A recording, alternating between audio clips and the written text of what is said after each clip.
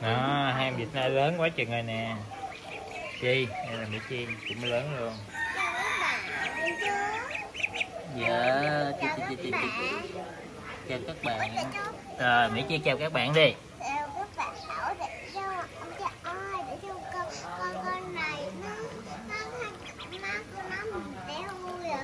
mắt này người hả? Tại cái màu lông của nó vậy đó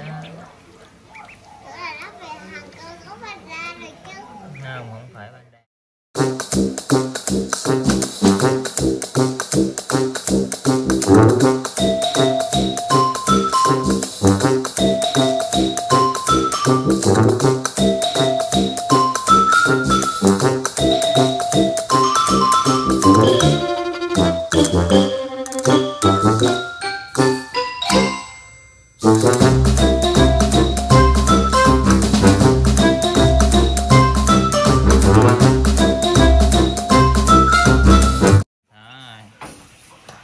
Giờ lấy để bỏ vô nha. Đây là cái chuồng mới.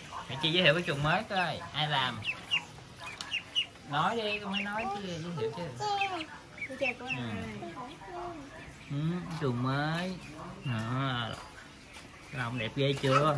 Ui vậy, đây nó bay ra rồi ừ, làm cái uh, tấm là phong rồi miếng nhôm cũ. Đó giờ chị chủ sẽ bắt nó vô nha chị quý nha nó đi ra đổ nuôi kìa mẹ quý mỹ chi. Bắt hàng vịt vô. Bắt vô đi. Tống cổ vịt Ê. Ủa, có- ô, ô, ô. à vịt vô chưa giờ không cho nó dung trước nó vô chuồng út nhẹp hết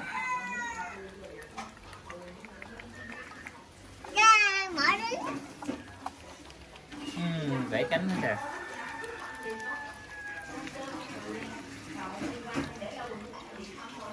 em không cho nó ở ngoài một hồi. Cho nó khô chứ để vậy ướt chuồng nữa hết.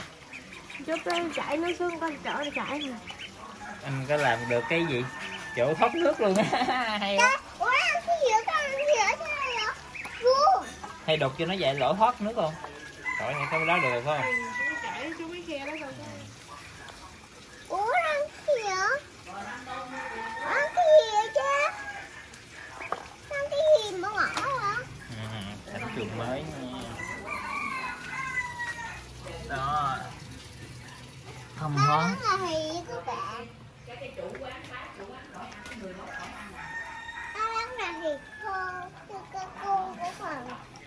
thịt khô luôn phải không? Chắc không ừ.